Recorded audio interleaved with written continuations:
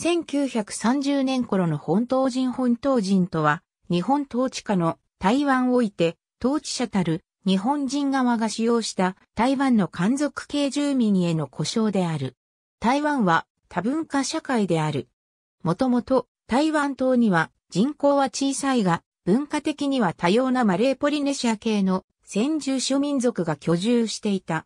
オランダ人統治期になると対岸の中国大陸から漢族が労働者として渡来してきた。具体的には福建省南部出身でそれぞれの母語を話す福、人及び関東省北部出身で八カ語を話す八カ人であった。彼ら漢族系の漢化の波は19世紀初めまで続き、清朝統治時代の漢化政策が進んでいて、台湾の漢族系人口は195万人に増加し、先住諸民族は劣勢の少数者の地位に立たされた。そして、日本統治時代となり日本人が統治者として移り住み最終的には40万人に達した。漢族系住民は日本語教育などを通じて日本人に対して従属的な同化を迫られた。ここに内地人を頂点とし、ついで本島人、最下層に万人という階層秩序が生まれた。すなわち、本島人という故障は大日本帝国の二等新民というステータスを象徴するものであった。しかし、台湾住民は上実のような従属的国民化を押し付けられてばかりではなかった。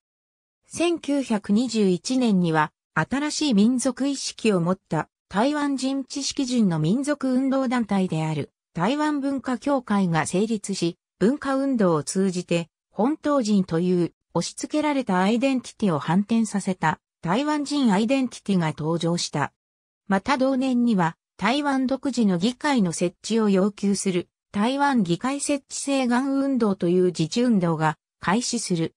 このリーダーの一人である小医水の発言、台湾議会請願の出現接種と同時に、台湾人の人格が生まれたりという発言が、台湾人アイデンティティの誕生を如実に物語る。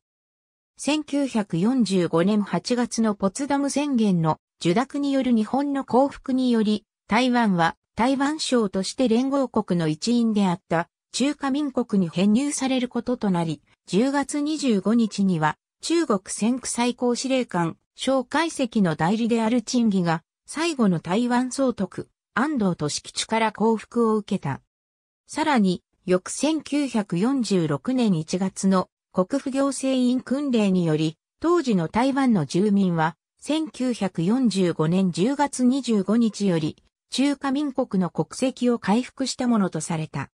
この訓令で中華民国国籍を回復した男性とその子孫が本省人となり、この訓令によらず、中華民国国籍を所有しており、その後台湾に居住するようになった男性とその子孫を外省人と呼ぶようになった。ここに日本統治下の本島人は中華民国統治下の本省人となったのである。ありがとうございます。